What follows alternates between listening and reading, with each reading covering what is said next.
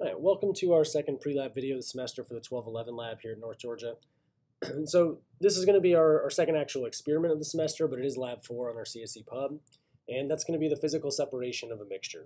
So for this particular experiment, kind of our, our main goal or kind of what's happening is we're going to be providing you a white powder that's a combination of multiple different compounds, uh, and your goal in the experiment is to actually separate those three compounds. Uh, and so we're going to talk a little bit about some of the terminology involved with these kind of processes. Uh, and as a starting point, just identifying kind of the terms you see, can see in the title here for the experiment. So mixtures, you probably talked about this term at least a little bit in lecture. Uh, a mixture is simply just a combination of multiple different compounds that when you've kind of combined them all together, they haven't reacted with one another. So they're still their same uh, individual compounds that they were before you put them all together. and then our goal, like we said, is going to be trying to separate our mixture uh, into those individual compounds.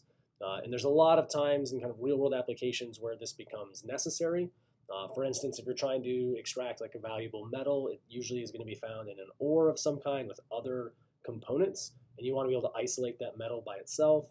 Uh, or for instance, if you're synthesizing new pharmaceutical drugs, uh, a lot of times you need to be able to isolate your specific product and make sure there's no impurities or other unintended side products that are also there. So that purification and extraction process is extremely important. uh, likewise, desalination of water, uh, just being able to try and like take salt water and make it drinkable or usable for other purposes. Uh, all of these are different examples of trying to do separations. Uh, and one of the things that we're going to kind of focus on also in this lab is kind of just what types of properties are used to be able to do these separations. Because uh, usually you're always going to kind of kind of almost exploit some sort of physical or chemical property of the substances that you're trying to separate, uh, and basically exploit the differences that the different compounds have in some of those properties. So today's experiment, we're mainly going to be focusing on physical means, uh, whereas like chemical means would be if you can do a reaction where one component reacts and others don't. That's maybe a way to try and separate things. Uh, today's experiment, though, we're going to focus on kind of the physical side, where we're not really altering our in, uh, involved compounds in any way. They're going to stay with kind of their same chemical identities. So this means separating things on their physical properties. There, there's two really common ways this is usually done. Uh, one is through solubility and being able to kind of just base, uh, filter and separate your products based on the physical state things are in. That's the one we're going to be taking a look at today in the lab. Uh, another common one, also kind of involving physical state changes, is by boiling things. So if you have a mixture of a bunch of liquids, uh, being able to evaporate one liquid easier than another through a process called distillation is something that's commonly used also, although that's a process that tends to show up a lot more in organic laboratories. Uh, for our GenChem lab that we're going to be looking at today, we're really going to be focusing on that solubility and filtration part. Uh, and so some other terms to kind of be aware of when you see that term solubility, we're usually talking about really kind of how well something dissolves. So we're looking at the physical properties of the different components in our mixture, and we're kind of taking advantage of the fact that if we add a particular liquid, only one of those compounds will hopefully dissolve in that particular liquid if we know a little bit about the compounds that are there and if we know a little bit about the liquid that we're actually adding. So for our particular experiment, uh, the three different compounds that we're going to have in our mixture are going to be acetaminophen, sucrose, and calcium carbonate. Now, don't worry too much about these names and kind of try and remember exactly what these things look like or the chemical formulas. It's not something we'd expect you to know at this point in general chemistry. Uh, outside of the, the, calcium carbonate, you should probably know how to name at this point uh, based on just kind of some of the naming conventions that most of you have probably been covering in lecture or covering this week. now, what's important about all three of these compounds is they have different kind of solubility trends or patterns. So acetaminophen, for instance, is soluble in warm butanol, uh, or you'll see it labeled probably in the, the lab reading as 1-butanol. But what's important about that is our other two compounds are not. Neither one of them are soluble in warm butanol. So when we have a mixture of all three of these things in one as one kind of combined powder, if we add hot butanol, the acetaminophen should dissolve in it. That's what it means to basically be soluble, is if you add that liquid, that particular compound is going to dissolve in it. and so the acetaminophen will dissolve in the warm butanol, but the sucrose and calcium carbonate won't. And so now if we remove that liquid butanol that has acetaminophen dissolved in it, we've effectively removed one of the components of the mixture. And now if we want our acetaminophen back, we can evaporate the butanol, and now we can have our acetaminophen back as a solid. And then we can basically repeat kind of a similar process to try and separate sucrose and calcium carbonate by using water instead. Uh, sucrose is soluble in warm water, so adding warm water to the sucrose and calcium carbonate mixture that remains uh, we can dissolve the sucrose. The calcium carbonate doesn't really dissolve very well in water. Uh, and so now we have a way to kind of separate the sucrose in a similar fashion of how we got the acetaminophen out. Uh, and so we'll have kind of two different steps where we'll be basically be doing kind of two different filtrations uh, to remove two of our three products, or sorry, two of our three components for our mixture. And then once we've removed those two, then everything that's left ideally should just be calcium carbonate at that point in time. So general kind of outline here, kind of a procedure, and this is uh, kind of the same flow chart that you'll see presented in your lab reading. so we have kind of our, our, initial powder that we start out with. It's the combination of acetaminophen and sucrose and the calcium carbonate. And ideally what should happen is as we add our hot butanol uh, to our whole mixture, like we said before, our acetaminophen is fairly soluble in the hot butanol. And so it's going to dissolve in the hot butanol. Basically, we're going to have two parts. When we say soluble, this is basically whatever is going to be in the liquid. The insoluble is just whatever powder is still left sitting on your basically basically on your funnel and your filter paper. So first step, adding the hot butanol, acetaminophen is going to dissolve and be part of the liquid. And then we have our other two components, the sucrose and the calcium carbonate, still just sitting on our funnel. Uh, the liquid that comes through, we're going to collect. And then if we basically separate that off and we go and evaporate all the butanol, now we'll have our acetaminophen isolated by itself. And then we're going to do the same process basically to our remaining powder by adding hot water. And we're going to see that now it's the sucrose that's soluble in the water. So the sucrose is going to dissolve and be in our liquid phase. And then we can isolate it again the same way, evaporating all the water off. And then whatever's left after we add the hot water should just be our calcium carbonate. Uh, and how we're going to kind of check to see what's uh, basically what's left and make sure it is calcium carbonate is we're going to add just a little bit of hydrochloric acid uh, to our reaction. and what should and you should observe if you're looking kind of a reaction down here. This is, these are the products that we're going to make from calcium carbonate. And probably the most important thing right here is we're going to see this gas, right? So we see this gas. Typically, when gases are produced in a reaction that has liquid components, you're probably going to see a decent amount of bubbling happen. So hopefully, visually, what you should see is some sort of bubbling when you add your hydrochloric acid, this uh, HCl, uh, to the calcium carbonate. Uh, and you should see some of that actual white solid, again, kind of dissolve or disappear uh, when you add that acid. So those are kind of the main things we're going to be looking at. Again, hopefully isolating all three of our compounds. And if our final white powder looks like it dissolves really well in the hydrochloric acid, then it's a pretty good indication that what we have left should hopefully just be the calcium carbonate. Because the sucrose and acetaminophen, while they dissolve in those other liquids, they aren't going to do that same reaction with hydrochloric acid. And so they're not going to be producing any gases or causing any bubbling. So if our last product uh, is going to be an awful lot of bubbling we add HCl, that's a good sign. It means we should have hopefully just the calcium carbonate there that's left. Now, for this lab, there are a couple of quick procedural notes and changes that I want to make people aware of.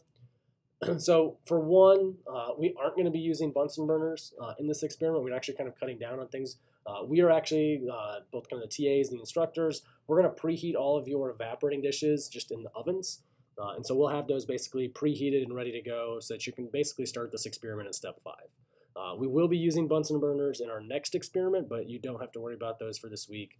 Uh, we'll just be using hot plates for any of the heating that we do for the rest of the lab. so the other thing too, just as you're doing the experiment, I think things that people kind of just get caught up in, you try people try to read the individual steps maybe too closely and get and kind of lose sight of I think just the big picture. And really the big picture, if you think about kind of that flow chart, it's not overly complicated. We're basically we're just going to have our white powder. We want to add hot butanol first and that's going to hopefully remove our acetaminophen. And then once we've kind of taken the acetaminophen and, and uh, the butanol away, now we're going to add hot water to what's left, and that's now going to separate the sucrose and the calcium carbonate. And that's basically the only real steps that we're actually doing here. Uh, you do want to make sure you add those liquids in the correct order, so it has to be butanol first and then water, or you actually won't effectively separate your acetaminophen and sucrose. They actually will both dissolve in hot water, and now we now we're not actually fully separating everything like we intended. Uh, while you add your liquids for your filtration, and there will be a, a physical demonstration of this uh, at kind of the end of this video, when you add your two liquids, it's probably best to do it in two portions uh, so that you can give a little bit of time for your solid to kind of start dissolving, uh, and then add a little bit more of that liquid that you're adding to try and dissolve uh, the particular product you're trying to isolate. Just because you need to give it a little bit of time for everything to kind of be able to mix around well, so that basically all of your powder gets exposed to the liquid you're trying to dissolve a particular product in or a component in. Uh, and that way, hopefully, all of your particular component that's there does dissolve. So, like in the instance of like when we add our butanol, if we want all of the acetaminophen dissolve, to dissolve, we want to make sure that that butanol is kind of covered and mixed with all of the solid that was there, at least a little bit, so that there's been a chance for the acetaminophen to dissolve. If you dump all of it in at once, it might not get all of it, uh, and so do pay attention. I know the demonstration video, when it gets to that part, does kind of dump in all of the liquid at once, uh, but you should probably do it in kind of just two small, or kind of break it up into a half and half portion uh, when you're adding your hot liquid. Uh, but do just try to make sure that the liquid's still hot when you go to add it. Because uh, if that liquid's not hot anymore, it's possible that maybe all you see the acetaminophen or all the sucrose uh, won't dissolve the way it's supposed to. Uh, the other big note, waste collection. Uh, nothing from this lab goes down the sink, so we will be collecting the waste. You'll have your lab instructors kind of point to the uh, waste container in the hood, reminding everyone that all of the waste is basically going to be collected in that container at the end of the experiment. Uh, probably the only last thing I'll add here before I get to a quick demonstration video. Uh, on that flow chart, you did see, uh, see that we use hydrochloric acid. It's a very small amount, uh, it's at a relatively low concentration, but it is a strong acid. It is something that if you do spill in your bare skin, you will probably feel it burn a little bit, or at least kind of feel a bit of a tingling sensation. Now, if that happens, don't panic. Uh, as long as you just kind of quickly notice that, hey, I've spilled this on my hands, if you go wash your hands in a sink uh, for just a minute or two, uh, it's not going to cause any kind of real problems, uh, but it is just something to kind of be aware of if you're doing that step, and all of a sudden your some of your fingers, your hand, or you feel any skin that uh, has kind of like a tingling sensation to it. Uh, just make sure you get that washed off good in the sink. All right, welcome to a quick demonstration of our physical separations of a mixture experiment here for 1211. so this experiment, we're going to be doing something called a filtration. So all filtrations, and we'll do a few of them throughout the course of the semester, are focused on separating a solid and a liquid and we're pretty much always going to be using filter paper to do that. So what we end up doing in that process is we're going to take our filter paper, we're basically going to have it set up in a funnel. We'll take our whole mixture of both a solid and a liquid, pour over the filter paper, and what happens is the filter paper is going to let the liquid pass through, it's going to catch all the solid, and now we've separated our different phases of things. Uh, usually this lets us isolate like a solid product we're interested in, or in today's lab we're actually interested in the liquid that goes through, because sometimes that liquid will have things dissolved in it, and that's really what we're doing today for our lab. so for our setup for a filtration, for our filter paper itself, you'll notice it doesn't really fit well, just trying to push it down into funnels, it's never gonna sit very well or uh, really make any kind of good seals to help the filtration happen fastly, I'm sorry, not fast or in an efficient manner. So what we do with the filter paper to kind of get started before we really do anything else uh, is we actually take our filter paper and we're gonna fold it in half twice. So here, fold it in half once, I'm gonna fold it in half a second time, and it looks almost kind of like a, kind of a pseudo triangle shape.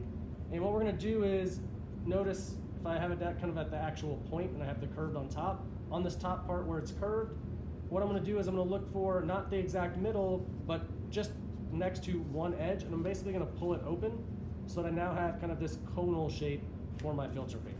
You may have to open it up a little bit at the bottom so that you actually get kind of that full cone shape. Now if I take that cone and set in my funnel, it's gonna set a little better, but you notice it doesn't really sit perfectly. So to get it to kind of grip the sides of the funnel, so that we get a little bit better seal, it just kind of holds itself in place a little bit better, we can take a little bit of our liquid that we're gonna be using to pass through the filter paper, and we can squirt it along kind of some of the edges here of the uh, filter paper. And that will help the filter paper kind of now sit in place and stick to the funnel. It'll make a little bit better seal, and it also will allow when we go to take our liquid and pour it in there from our mixture, that liquid is now going to be going straight through the filter paper. Uh, the first bits of liquid usually add to filter paper just get absorbed into the paper. They don't really pass through very much. Uh, so this kind of prevents any of our liquid, if we need it for our experiment or we want to get that liquid back, prevents it from getting kind of lost into the filter paper itself. All right, once our filter paper now has been wetted, is what we typically call that process, so that it's stuck now to our funnel a little bit better. Now we're gonna go ahead and add our mixture to it. So for some labs later this semester, that'll be like an actual solution with a solid in it already. For uh, this week's lab, it's just gonna be the actual white powder itself that has our three different components in it. So we'll go ahead and add that to our funnel. And now if we want to, we can go ahead and take our, our funnel and adjust a little bit so that the tip of the funnel is actually down, kind of touching the edge of our evaporating dish that we're going to be collecting everything in. And this will also just kind of help make that filtration process happen a little bit faster. Because if you're not careful on some of these filtrations, they can take a long time for all the liquid to pass through the filter paper. All right, so once we have all this set up, now we're ready to go ahead and add basically our, our hot liquid to our uh, mixture. And so for our procedure, the first liquid that we're gonna add is hot butanol. So we should have had butanol heating up in a hot, on a hot plate like this in a water bath. And you're gonna wanna use test tube clamps like this so that you can grab the test tube or so you don't have to grab it with your bare hands when it's hot. Uh, and then what you're gonna go ahead and do is you're gonna go ahead and take that liquid and don't waste too much time while the liquid is still warm. You to go ahead and pour it all over your solid that's inside of your funnel. Now, when you do that, you should see a good bit of your solid actually dissolve. And if you need to, if you don't feel like all of your solid really got fully kind of covered by liquid you added, you can get a little bit more of the butanol heated up and add some more as well. Uh, but the more butanol that you add, the more you will have to evaporate off later, so it takes longer. Uh, so try to just be kind of diligent. The amount of butanol you have in there should be about five milliliters that you've heated up. Try to get all of that added relatively quickly while it's still warm, so and hopefully get all of the solid kind of covered, so it's at least coming to contact with the butanol, so that you can hopefully dissolve all of the product that you should have dissolved. Uh, because out of our mixture, there's only one compound that should dissolve in the butanol, so we want to make sure all, all of our powder gets exposed to the butanol so that compound dissolves through. And then what's going to happen is once all of the liquid is finished passing through our funnel for our filtration here, in this case, we're going to take our evaporating dish or where we've kind of collected all of what we call the filtrate, the liquid that's coming through that filtration, and we're going to go ahead and take that evaporating dish and now put on a hot plate. And if we evaporate off all the liquid, there should be a solid that gets left behind. That's the compound that we've now removed from our initial mixture. Uh, and once we've done that once, the rest of our experiment is basically just doing all of that a second time uh, to now remove a second product by adding hot water instead of the hot butanol. And now we've got a way that we can separate all three components of our mixture just based on their, their physical solubilities. Uh, when you are done with this, we will have some kind of waste instructions. Uh, all this stuff can't just get washed down the sink. Uh, so we will have some kind of waste instructions. All the actual final products, once you've evaporated off the liquids from your evaporating dishes, we're going to wash those into a waste container that we'll have set up in one of our hoods. Uh, but those are kind of the main aspects of what to expect for this experiment, of what things are going to look like. Uh, try not to get bogged down in the word-for-word -word descriptions in the lab procedure. It is fairly well written, so I don't think it's that, that bad to go ahead and follow just the individual written steps, but think just kind of big picture. Your main things for doing your filtration, you're just having a liquid and a solid that here we're putting in and we're trying to separate. And in this case, we're really trying to use our liquid to dissolve some of that solid. And we're just doing basically that same process twice. Once with hot butanol to dissolve our acetaminophen, the second time with our water to dissolve our sucrose, and then hopefully there is some white powder left behind at the end of everything that's going to be our calcium carbonate. And we'll be able to eventually get masses of all those different pieces. And kind of see uh, what our overall starting mixture uh, mixture looked like in terms of uh, the ratios of the different